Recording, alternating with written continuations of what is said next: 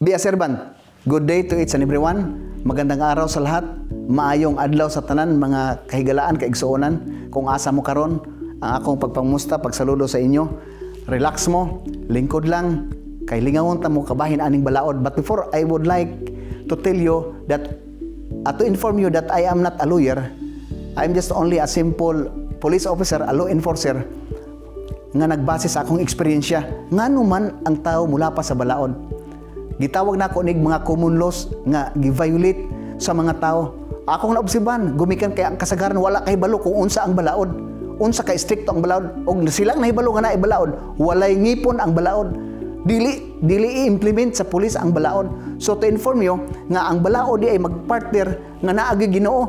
Kay ang atong uh, Philippine Constitution nato sa 1987 nagsulti diha imploring the aid of Almighty God. They need ang lawmakers og Holy Spirit paghimo sa balaod. Wala magsulusulo ang mga lawmakers nato nga sila rin maghimo.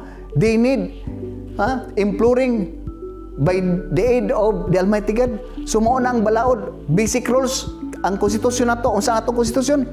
Simple atong konstitusyon. Balaod na sa estado balaod sa ato dinhi sa gobyerno nga maghatag nato og kanindot sa atong pagpuyo. Basic needs or uh, need sa konstitusyon nato nga gikinanglan nga makaingon ta nga nindot ang demokrasya kung naagi balaod no the best ang demokrasya kung naay balaod basic roles rights og duty sa tao nga atong sundon okay ang kapulisan nagsulti kabahin na sa vision patrol plan going to 2030 ang roadmap namo among mao na among guide paingon sa 2030. If you observe, na nasad imploring the aid of the Almighty. Kinsa man ng Almighty, Almighty Father, God, ang ginoo nasad. Kay dili mahimo sa pulis kung walay ginoo. Pero tanawa ang pulis. Kada lihok na abay ginoo. Puros lang sulti. Nga naay ginoo, wala i-aplikar sa kinabuhi. So, usahin mo na mga palpak ang mahitabo. Di ta ka, makaingon ta nga, unsa man, unsa may sitwasyon. But you, continuous na ko, kung ang core values, kung tanaw ninyo ang core values sa kapulisan, sa among roadmap, now, maka-Diyos, makatao, makabayan, makatao at makakalikasan. Ang among PNP, maka-Diyos at makabayan, makatao at makakalikasan.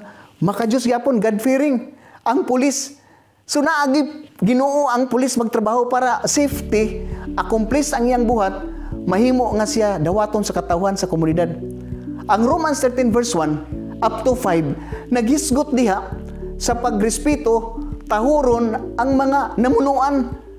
Mao na ang Biblia nga ipatahod gyud ang ang balaod sa yuta gitugot na sa Ginoo nga ang mulapas ni ana panison gyud siya. I-implement gyud ang balaod mga higala mga kaigsuonan.